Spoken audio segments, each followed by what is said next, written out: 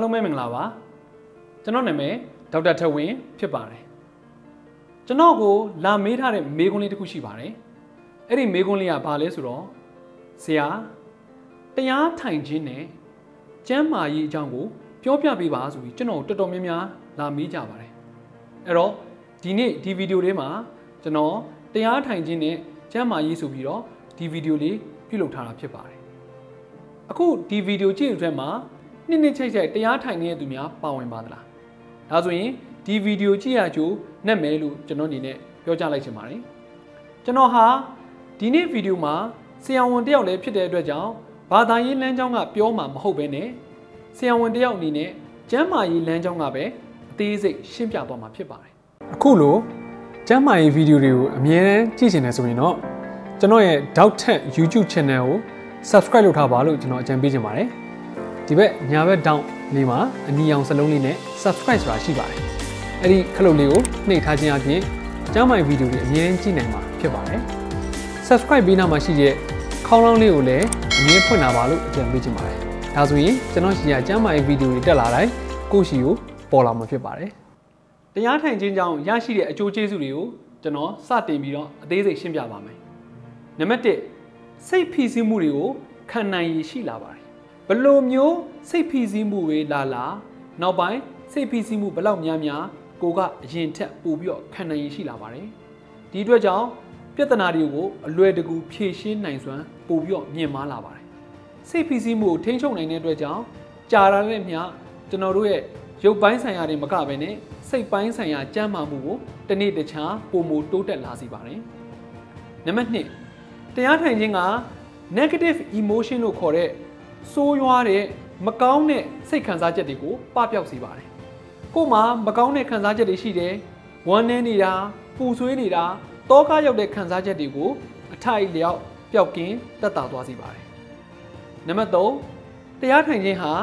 လူရဲ့ခန္ဓာကိုယ်ကိုပေါ့ပါလန်းဆန်းသွားစေပါတယ်။တရားထိုင်ပြီးတဲ့သူမှာတရားထိုင်ခြင်းရသွားတဲ့အခါမှာကိုကအမြဲတမ်းအလုတ်လုတ်တဲ့အချိန်မှာပို့ပြီးတော့အားရှိလာမယ်ပေါ့ပါနေမယ် လန်းဆန်းနေမယ်ကိုကတခုခုဆိုရင်စွမ်းဆောင်ရည်ပုံပုံမြင့်မားလာတယ်လို့ကျွန်တော်ပြောချင်ပါတယ်နံပါတ်၄ကိုဘကိုပို့ပြီးတော့သုံးသက်လာနိုင်တယ်မြင်လာနိုင်ပါတယ်ကျမ်းမာရေးရှုထောင့်ရကျွန်တော်တို့ခန္ဓာကိုယ်မှာဘယ်နေရာမှာအပြစ်အနာစာရှိလဲဘယ်နေရာမှာနာကျင်ကြိုက်ခဲမှုရှိလဲဘယ်နေရာမှာယောဂရှိလဲဆိုတာကိုတေးသေးလေးဟာအစကိုကပို့ပြီးတော့သတိထားမိလာတာဖြစ်ပါတယ်အဲ့တော့တရားထိုင်ခြင်းဟာဘာမဆို အာယုံကြောလေးတွေကိုသတိထားမိလာတယ်ခန္ဓာကိုယ်ရဲ့တိဆောက်ပုံခန္ဓာကိုယ်ရဲ့အကြောင်းကိုကိုယ့်ဘာကိုပို့ပြီးတော့နားလည်လာတယ်လို့ကျွန်တော်ပြောချင်ပါတယ်နံပါတ်5တရားထိုင်ခြင်းကြောင့်အသက်ရှူလမ်းကြောင်းပို့ပြီးတော့ကောင်းမွန်လာပါတယ်တရားထိုင်ခြင်းကလေရှူလေမှုတ်ကိုအသေးစိတ်မှတ်ရတဲ့လုပ်ငန်းတစ်ခုဖြစ်တဲ့အတွက်ကြောင့်ကိုယ့်ရဲ့အသက်ရှူတဲ့အချိန်တိုင်းမှာအသက်ရှူတဲ့ဟာတွေကအဆုတ်အတွက်ပို့ပြီးတော့အားကောင်းလာပါတယ်အသက်ရှူတာစီးချက်မှန်လာတယ် အဆုတ်ကပို့ပြီးတော့အလုပ်လုပ်တာပို့ပြီးကောင်းလာတယ်တရားကိုအမြဲတမ်းထိုင်လာတဲ့လူတရားထိုင်တာများလာတဲ့သူဟာနောက်ပိုင်းဆက်လက်တောက်ဖို့ပါမတောက်ချင်တော့တာဖြစ်လာတတ်ပါတယ်ဒီအတွက်ကြောင့်ကျမ်းမာရေးရှူတောင်းရဆက်လက်ဖြတ်တာတွေပါတယ်ပါသူကပို့ပြီးတော့ဆက်လက်ဖြတ်ဖို့အတွက်ပို့ပြီးတော့အားကောင်းလာစေပါတယ်နံပါတ်6ကိုယ့်ဘာကိုပို့ပြီးတော့ယုံကြည်မှုရှိလာပါတယ်လူတွေကတရားထိုင်ပြီးနောက်ပိုင်းမှာစိတ်ဖိစီးမှုကိုထိန်းချုပ်နိုင်တယ် negative emotion လို့ခေါ်တဲ့ဆိုးရွားတဲ့ မကောင်းတဲ့စိတ်ခံစားချက်တွေကိုလည်းထိန်းချုပ်နိုင်တဲ့အတွက်ကြောင့်နောက်ပိုင်းမှာကိုယ့်ဘာကိုပို့ပြီးတော့ယုံကြည်ချက်ပို့ပြီးတော့မြင့်မားလာတယ်လုပ်ငန်းတွေလုပ်တဲ့အခါမှာအလုပ်တွေမှာလည်းပို့ပြီးတော့အောင်မြင်လာတယ်မြင်ဆန်လာတယ်ကိုသတိထားမိပါတယ်နံပါတ်9ကိုဟာအမြဲတမ်းတရားထိုင်ပြီးတဲ့အတွက်ကြောင့်တောင်ယုံတန်ယုံဆိုရင်စိတ်ကိုပုံမှန်ထားတတ်လာတယ်ဥပမာကို့မှာဆုံးရှုံးမှုတွေရှိလာလားကို့မှာကြာရှုံးမှုတွေရှိလာတယ်ဆိုရင်တော့သူက စိတ်ခံစားချက်အရင်မပြင်းထန်တော့ဘဲနဲ့ကိုလှုပ်တင်လှုပ်ထိုက်တဲ့ဟာကိုဆက်လက်တေချာစွာလုံနိုင်စွမ်းပို့ပြီးတော့မြင့်မားလာတယ်လို့ကျွန်တော်အနေနဲ့ပြောချင်ပါတယ်နှလုံးခုန်နှုံးကိုပို့ပြီးတော့ငြိမ်လာတယ်နှလုံးခုန်နှုံးကိုလည်းနှီးလာစေပါတယ်ဥပမာတချို့သောနှလုံးယောဂသည်တွေကနှလုံးခုန်အယမ်းမြန်တဲ့သူတွေနှလုံးခုန်မတီမငြိမ်ဖြစ်နေတဲ့သူတွေအတွက်နှလုံးခုန်ပို့ပြီးတော့ငြိမ်လာတယ်လို့ကျွန်တော်တို့လေ့လာတွေ့ရှိချက်တွေမှာတွေ့ရှိရပါတယ်ဒီအတွက်ကြောင့်နှလုံးယောဂသမားတွေအတွက်များစွာ ကျန်းမာရေးရှုထောင့်ရများစွာအကျိုးကျေးဇူးရှိတယ်လို့ကျွန်တော်အနေနဲ့ပြောကြားလိုက်ချင်ပါတယ်။နံပါတ်9ကကြတော့သွေးပေါင်ချိန်ကိုထိန်းညှိပေးပါတယ်တရားထိုင်ခြင်းကြောင့် stress တွေကိုထိန်းညှိပေးနေတယ် stress တွေကိုထိန်းချုပ်သွားနိုင်တယ်ဒီအတွက်ကြောင့်ကျွန်တော်တို့မလိုလားအပ်တဲ့သွေးပေါင်ချိန်အရင်မြင့်တာသွေးတိုးယောဂါတွေအစကိုကကောင်းကောင်းထိန်းညှိသွားနိုင်ပါတယ်နံပါတ်30အခုဗီဒီယိုကြည့်တဲ့လူထဲမှာညဘက်ကောင်းကောင်းအိမ်မရတဲ့သူများပါပါသလား ဆရာတေချာအိမ်မရလို့စိတ်ညစ်နေပြီအိမ်ရေးမဝတာတော်တော်ကြာနေပြီလို့ပြောတဲ့သူတွေတနေ့တခြားပူပူများလာပါတယ်တရားထိုင်ခြင်းကကောင်းမွန်စွာအိပ်ပျော်စေတဲ့အချက်တွေမှာပါဝင်ပါတယ်အကယ်၍ကိုသာအိပ်မပျော်တဲ့ယောဂခံစားနေရပြီဆိုရင်နေ့စဉ်တရားကိုထိုင်သွားကြည့်ပါ sleep quality လို့ခေါ်တဲ့အိပ်ဆက်ခြင်းကိုကောင်းမွန်စွာလှုပ်ဆောင်နိုင်မယ်လို့ကျွန်တော်အနေနဲ့ပြောကြားလိုက်ချင်ပါတယ် တရားထိုင်ခြင်းမှာကျမ်းမာရေးနဲ့ပတ်သက်လို့ဒီလောက်တောင်ကောင်းကျိုးတွေများစွာရှိတဲ့အတွက်ကြောင့်ယခုအခါအနောက်တိုင်းဆေးပညာတွေမှာတရားထိုင်ခြင်းကိုကုသရေးအနေနဲ့တခုထည့်သွင်းလာတာတွေ့ရှိရပါတယ်။ကုသရေးအနေနဲ့ထည့်သွင်းလာတဲ့ယောဂါတွေကတော့နံပါတ်1 anxiety လို့ခေါ်တဲ့စိတ်တိုးတက်တာစိတ်ရမ်းကြီးတာစိတ်ယောဂါစပြိုးတဲ့သူတွေမှာတရားထိုင်တဲ့ section တွေစတင်ထည့်သွင်းလာပါတယ်။ကုသရေးမှာစတင်ထည့်သွင်းလာတာတွေ့ရှိရပါတယ်။နံပါတ်2 asthma လို့ခေါ်တဲ့ပန်းနာရည်ကျက်ယောဂါတွေပါ။ပန်းနာရည်ကျက်ယောဂါတွေဟာသူတို့ရဲ့အသက်ရှူလမ်းကြောင်းကျဉ်းသွားတာအသက်ရှူလို့မရတော့တာရင်ကျက်တဲ့ပြဿနာတွေဖြစ်ပါတယ်။ဒီဟာက stress ကြောင့်လည်းဖြစ်နိုင်တယ်။အသက်ရှူတဲ့ဥစ္စာကို respiratory system လို့ခေါ်တဲ့အသက်ရှူလမ်းကြောင်းအဖွဲ့အစည်းကို ပြဿနာတက်တဲ့အတွက်ကြောင့်တရားထိုင်ခြင်းအပြင်ပြန်လည်ကောင်းမွန်လာတာတွေ့ရပါတယ်။ဒီအတွက်ကြောင့်တရားထိုင်ခြင်းကို asthma လို့ခေါ်တဲ့ယောဂတွေမှာပါအသုံးပြုလာပါတယ်။နံပါတ်3ဒါတော့လူတိုင်းဒီပါသိပြီးသားလို့လည်းထင်ပါတယ်။ကင်ဆာယောဂတွေမှာအသုံးပြုလာပါတယ်။ကျွန်တော်တို့ကင်ဆာကုသရေးပိုင်းမှာ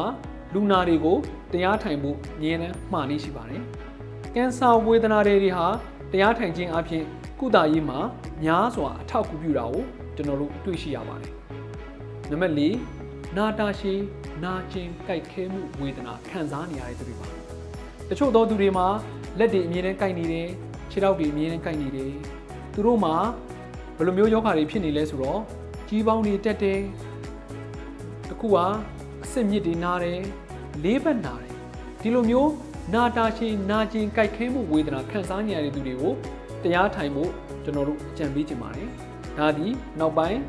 တရားထိုင်ခြင်းကိုကုသရေးအနေနဲ့အသုံးပြုလာပါတယ်။နံပါတ်5 depression လို့ခေါ်တဲ့စိတ်တက်ကြတဲ့ယောဂပါ။အခုဗီဒီယိုကြည့်တဲ့ထဲမှာစိတ်တက်ကြဝေဒနာခံစားနေရတဲ့သူများပါပါသလား။ကိုကစိတ်တက်ကြဝေဒနာခံစားနေရတဲ့သူပါတယ်ဆိုရင်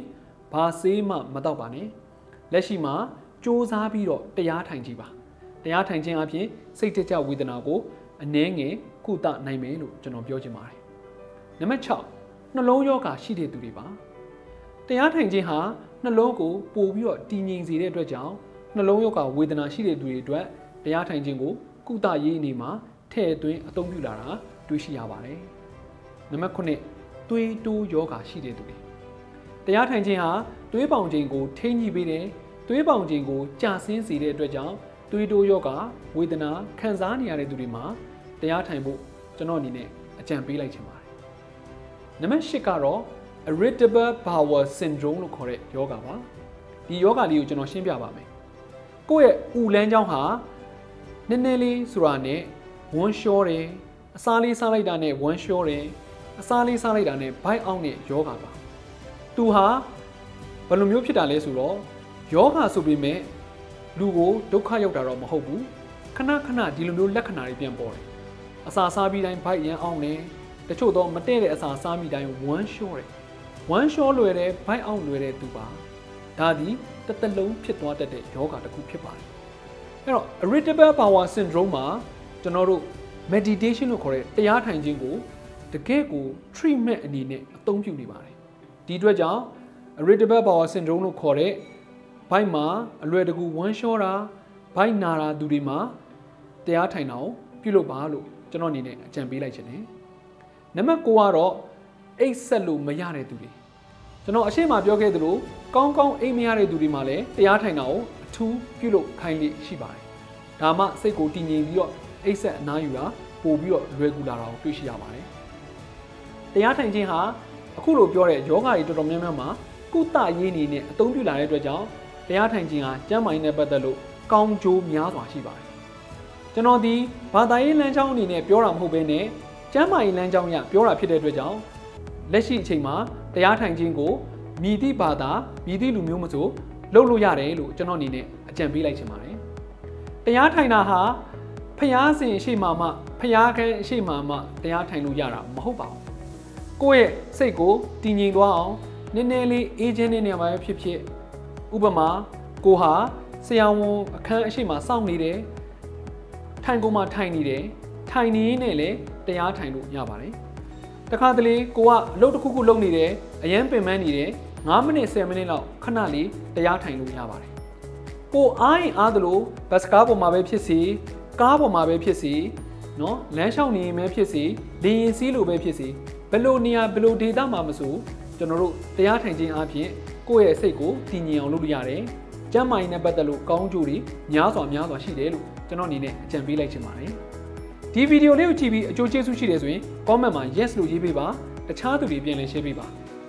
ကိုသိတဲ့မိတ်ဆွေတွေထဲမှာတရားထိုင်တဲ့သူတွေရှိတယ်ဆိုရင် comment မှာ mention ခေါ်ဖို့မမေ့ပါနဲ့